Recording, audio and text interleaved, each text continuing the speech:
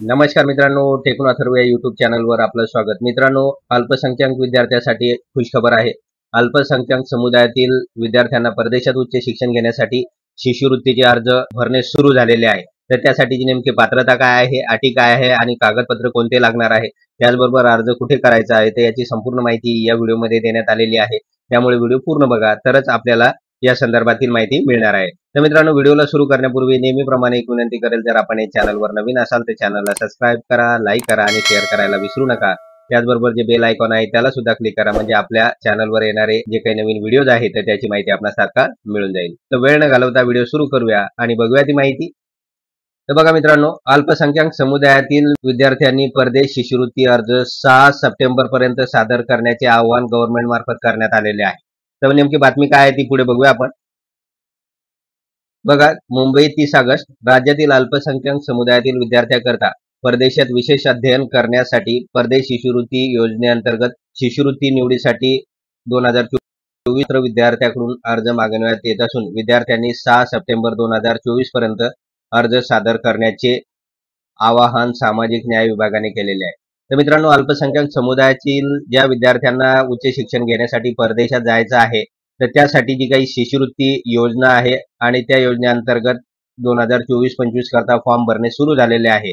त्यामुळे ज्यांना हे फॉर्म भरायचे असेल तर त्यांनी सहा सप्टेंबर पर्यंत अजून सहा सात दिवस बाकी आहे लगेच फॉर्म भरा भरा म्हणजे आपल्याला ही शिष्यवृत्ती मिळून जाईल असं आवाहन सामाजिक न्याय विभागाने केलेलं आहे. त्यानंतर पुढे बघूया मित्रांनो अल्पसंख्याक विभागामार्फत सन दोन हजार चोवीस पंचवीसमध्ये राज्यातील अल्पसंख्याक समुदायातील विद्यार्थ्यांकरता परदेशात उच्च शिक्षणासाठी पदव्युत्तर पदवी व पीएचडी अभ्यासक्रमासाठी परदेशी शिष्यवृत्ती योजनेअंतर्गत राज्यातील धार्मिक अल्पसंख्याक विद्यार्थ्यांकडून अर्ज मागवण्यासाठी अल्पसंख्याक विभागाने मंजुरी दिलेली आहे. तर अल्पसंख्याक विभागाने या संदर्भात मंजुरी दिलेली आहे ज्या विद्यार्थ्यांना उच्च शिक्षणासाठी पदव्युत्तर पदवी किंवा पीएचडी अभ्यासक्रमासाठी प्रवेश घ्यायचा आहे अशा विद्यार्थ्यांना या विभागाने मंजुरी दिलेली आहे.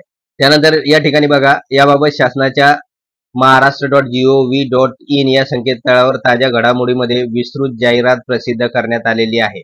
आणि मित्रांनो या वेबसाईटवर ही जाहिरात प्रसिद्ध करण्यात आलेली आहे आणि अर्ज सादर करण्याची अंतिम मुदत सहा सप्टेंबर दोन हजार चोवीसपर्यंत देण्यात आलेली आहे. म्हणजे सहा सप्टेंबर ही शेवटची तारीख असणार आहे. त्यानंतर पुढे बघूया आपण. आता या योजनेसाठी नेमकी अटी शर्ती आणि कागदपत्रे काय लागणार आहे ते बघूया आपण. अल्पसंख्याक परदेश शिष्यवृत्ती योजनेच्या अटी शर्ती आणि लाभार्थ्याचे स्वरूप पुढील प्रमाणे असेल.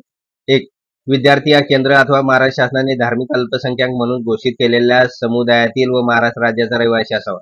विद्यार्थी हा महाराष्ट्र राज्याचा रहिवासी असावा. त्याचबरोबर तो केंद्र किंवा महाराष्ट्र शासनाद्वारे धार्मिक अल्पसंख्याक असल्याचे घोषित केलेले असावे.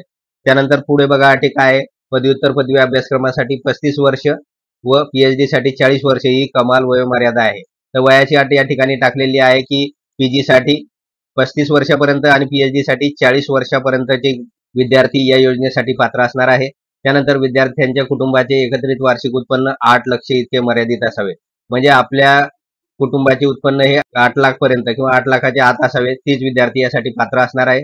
त्यानंतर परदेशातील शिक्षण संस्था ही जागतिक क्रमवारीत दोनशेच्या आत असावी. आणि परदेशातील ज्या शिक्षण संस्थेमध्ये आपल्याला ऍडमिशन करायचं आहे तर ती शिक्षण संस्था क्यूएस वर्ल्ड युनिव्हर्सिटी रँकमध्ये दोनशेच्या आत असावी अशाच संस्थेमध्ये ऍडमिशन घेण्यासाठी शिष्यवृत्ती मिळणार आहे.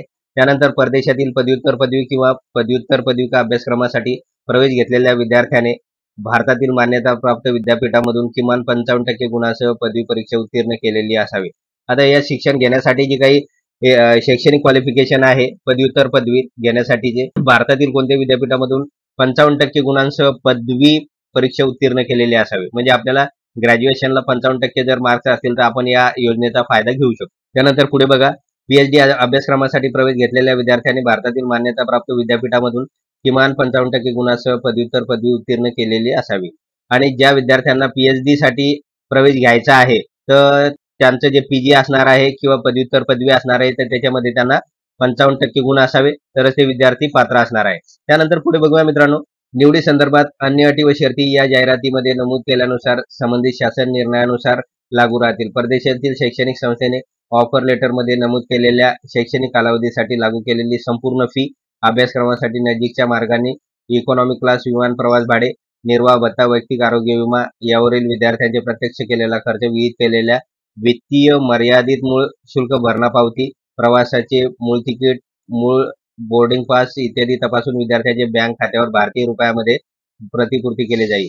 तर या योजनेअंतर्गत परदेशात शिक्षण घेण्यासाठी जाणाऱ्या विद्यार्थ्यांसाठी इकॉनॉमिक क्लासचं विमान प्रवास भाडे त्यानंतर निर्वाह भत्ता वैयक्तिक आरोग्य विमा या सगळ्या गोष्टी या अंतर्गत पुरवल्या जाणार आहे त्यानंतर पुढे बघूया मित्रांनो अल्पसंख्याक परदेश शिष्यवृत्तीसाठी अर्जाचा नमुना शिष्यवृत्तीसाठीच्या पात्रतेच्या अन्य महत्त्वाच्या अटी व शर्ती याची सविस्तर माहिती महाराष्ट्र शासनाच्या W W W Maharashtra dot G O V dot in या संकेतस्थळावर ताज्या घडामोडीमध्ये विस्तृत जाहिरात प्रसिद्ध करण्यात आलेली आहे. तर या योजनेसाठीचा जो काही अर्ज आहे तर त्या अर्जाचा नमुना त्यानंतर पात्रता अटी शर्ती या संदर्भातील जाहिराती Maharashtra dot G O V dot in या महाराष्ट्र गव्हर्नमेंटच्या वेबसाईटवर प्रसिद्ध करण्यात आलेली आहे. तर तिथे आपल्याला हे सगळ्या गोष्टी मिळणार आहे. त्यानंतर पुढे बघा या योजनेस पात्र विद्यार्थ्यांनी विहित नमुन्यातील परिपूर्ण भरलेला अर्ज आवश्यक कागदपत्रासह सहा सप्टेंबर दोन हजार चोवीसपर्यंत वेळ सायंकाळी सव्वा सहा वाजेपर्यंत पोस्टाने किंवा समक्ष समाज कल्याण आयुक्तालय तीन चर्च रोड पुणे येथे सादर करावा असे सामाजिक न्याय विभागाकडून कळवण्यात आलेले आहे.